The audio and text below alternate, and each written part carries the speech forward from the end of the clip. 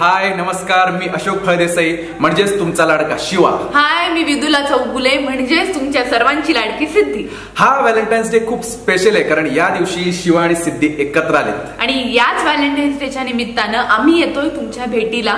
सोळा फेब्रुवारीला Kartik event management आयोजित the Sangli flea market festival आणि या फेस्टिवलमध्ये तुम्हाला पाहायला मिळणार आहे खूप सारी धमाल मस्ती डान्स परफॉर्मन्स गाण्याचा कार्यक्रम कॉमेडी स्किट खाद्यपदार्थ खरेदी आणि छोट्या छोट्या मुलांचे फॅशन शो आणि खूप काही. असं खूप काही येस आम्ही येतोय सोळा फेब्रुवारीला. तुम्ही या कल्पद्रुम ग्राउंड नेमिनाथ नगर सांगली येथे. धमाल करू. नमस्कार मी ओमकार.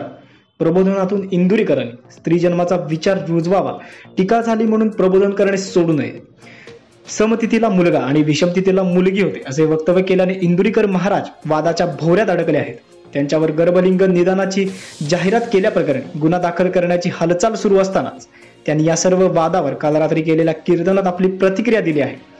दोन तासांच्या कीर्तनात एखादं वाक्य चुकीचं जाऊ शकतं. मात्र मी जे बोललो ते चुकीचं नाहीच. मी बोललेलं अनेक ग्रंथात नमूद आहे.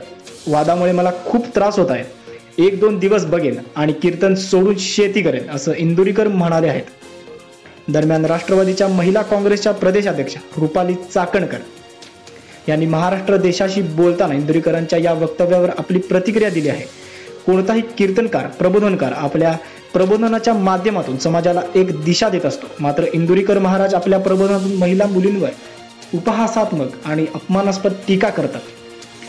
आपल्या महाराष्ट्राला संतांची परंपरा आहे. या परंपरेतून त्यांनी चांगले विचार समाजात रुजवायला पाहिजेत. मात्र प्रबोधनाच्या माध्यमातून त्यांनी संतांचा विचार मांडला पाहिजे.